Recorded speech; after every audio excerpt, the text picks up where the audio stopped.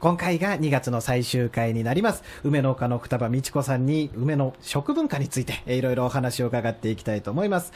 あの、双葉さんの目から見てですね、梅を使った料理、レシピ、昔と比べて変わったなって思うところってありますか？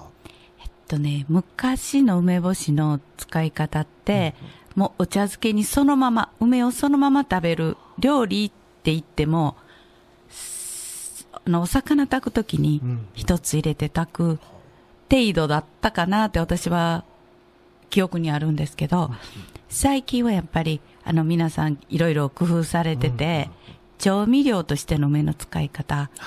で、梅干しを一つ丸ごとじゃなくて、こう、梅干しと何かを使って混ぜてドレッシングにするとか、もう、日本食だけじゃなくて洋食にも中華にもいろんな方向へ使われてってるかなって思ってるし、うんうん。やっぱり、あの、みんなもね、いろいろこう、工夫されてる人が多くなってきたかなと思います。でも今の話を聞いて私の、わもうすっごい梅茶漬けが食べたくなりましたね。梅茶漬け美味しいですよね。美味しシンプルに美味しいです。まあちょっとね、乗り散らして食べるのもいいと思いますが、福田さん、今の梅料理、まあいろいろとちょっと変わってきてるっていうことなんですけども、今の梅料理のレシピで何かおすすめのものってありますか？あぜひ教えていただきたい。梅干しを使って唐揚げの味付けにするんですね。初めてでしょ。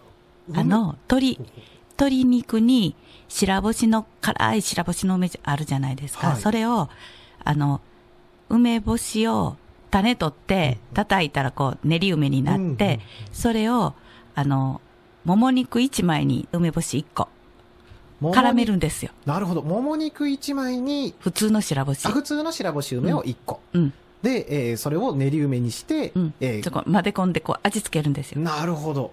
もう直接。直接。へ1枚買ってくれば、それをこう食べる大きさに切って、そこへ一粒の梅干しを、潰した梅干しを混ぜ込んで、揉み込む。それを片栗粉で揚げるだけ。美味しいですよ。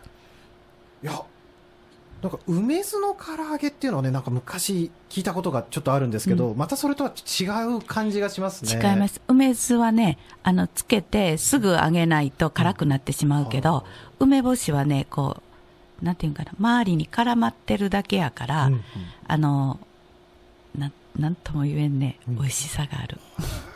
いつ頃から双葉さんはこの梅の唐揚げっていうのを作るようになったんですか？えーっとね、3年ぐらい前かな、あの、保育所の、はい。あの、調理している方が東本所におられるんですね。はい。もう今は退職されましたけど、その方がね、私に教えてくれたんですよ。うんうんみっちゃん、唐揚げへ梅干し絡めて揚げたら子供たちがよく食べるんですよ。保育所の園児ですよ。はい。えーって私もその時目が点で、うんうんあの、梅酢に、梅酢の唐揚げっていうのは私もすずっとしてたんですけど、はい梅干しにと思って、で、私もせっかく聞いたからやってみたんですね。もう本当にね、失敗がない。で子供たちも食べるという、あれがわかる、食べても、その、塩のよく効いた梅の方が美味しいんですよう。んうんうんうんその、す塩が少ないとやっぱり酸がかってしまうから、あれなんで、その塩の、梅の塩の味で味付けて、その梅だけの味付けなんですよ。他のも一切入れずに。ですよね。だ鶏もも肉と梅干しとあと片栗粉しか使ってないんですもんね。そう。なんですよ。それが美味しい。それをね、唐揚げにせずに焼くだけでも美味しいんですよ。うんうんうんグリルで。そうですね。焼くだけでも美味しそう美味しい。ですね。うん。美味しいんですよ。もうその時ね、え、梅干し？って思って、もうそれ私も今までね、唐揚げそれが一番美味しいかな。その、もも肉の大きさ、どれくらいに対して梅干し1個っていう感覚ですかね？1枚に対してっていう1枚に対して。はい普通タッパックで1枚って売ってるじゃないですか。そうですね売ってますねううんん。それ1枚に対して、梅干しはね、2L、3L ぐらいかちょっと大きめの梅干しをちょっと大きめのそうそうそう1個。な。いやうん。で、まあやってみて、辛いと思えば少なくすればいいんですよ。うううなるほど、なるほど。うんいやーでもこれ、今、ラジオ聞いてくださってる方々も、これだったら結構なんか、記憶に留めてそう。作れそうですね。そうですよ。でバーベキューなんかの時もね、あの、お肉と梅干しさえあれば、こう、その手を汚さずに、ナイロン袋へお肉このうんうんうん鶏を掘り込んで、で、梅干し入れてくちゅくちゅっとうんうんうん揉み込んで、で、網で普通に焼けば焼ける。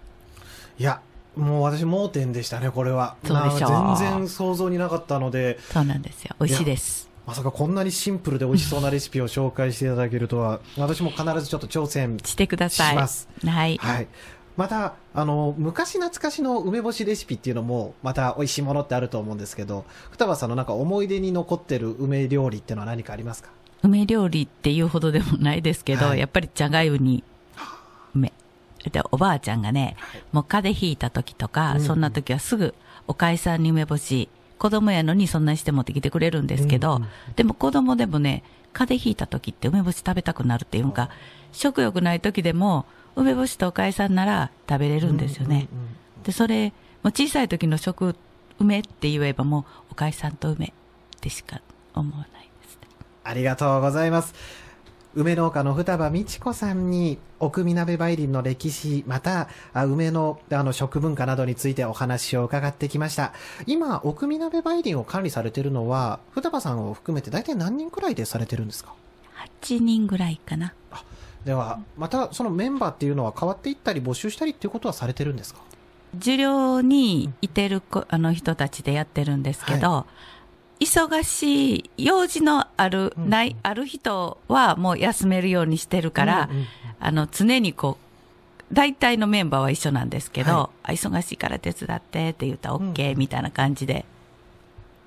また、あの、この奥見鍋梅林、ちょっとね、管理する側って言ったら硬い言い方ですけども、えーちょっとその運営に協力してみたいっていう方も、ぜひ、あの、Facebook で奥見鍋梅林検索していただければと思います。えーでは最後に、双葉さんが感じる、この梅の魅力とは一体どんなものなんでしょうか？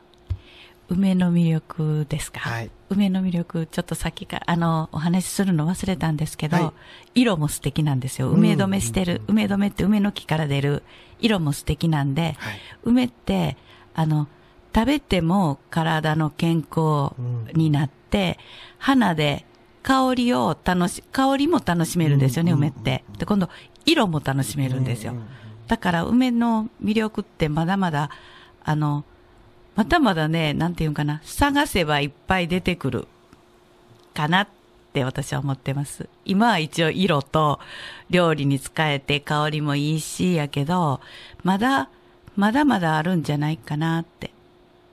可能性は大と思いますね。ありがとうございます。私も双葉さんを見習ってですね、えーまだまだ梅の楽しみ方っていうのはいろいろあるんじゃないかという気持ちで常に梅と接していきたいなと思います。えー2月、まさしくこの梅の時期にお話をお伺いさせていただいて本当にどうもありがとうございましたあ。りがとうございました。